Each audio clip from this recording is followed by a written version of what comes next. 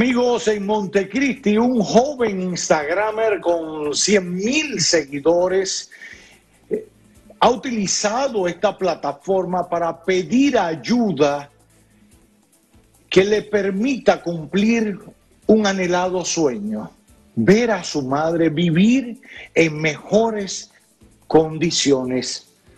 Vámonos con Goidi Reyes que nos tiene este reporte. A pesar de las promesas incumplidas, Lifren de la Cruz Taveras, mejor conocido como Macoca R, de 23 años, quien padece de escoliosis, aún sigue esperando una mano amiga para cumplir su sueño, que es poder ver a su madre vivir en una vivienda digna. Vivo en estas condiciones porque yo soy de una familia humilde, eh, en sentido pobre. Em, no he conseguido los recursos de vivir en otras condiciones más eh, cómodas. Muchas eh, personas de los medios comunicadores, peloteros, me han ofrecido ayudarme y han sido promesas incumplidas, no me han cumplido. Macoca R, quien se dedica a subir videos en Instagram, donde cuenta con más de 130 mil seguidores, reside en una humilde vivienda con su familia ubicada en la comunidad de Judea Nueva de Montecristi.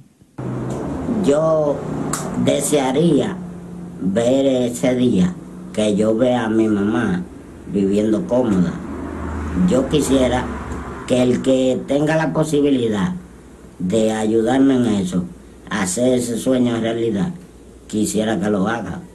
Porque muchas personas creen que a la hora que uno tiene muchos seguidores, tiene eh, como que el dinero le está lloviendo. Y eso no es así. Los padres del joven manifestaron con lágrimas en los ojos la terrible situación de calamidad en la que se encuentran viviendo, quienes al tiempo claman por una mano amiga.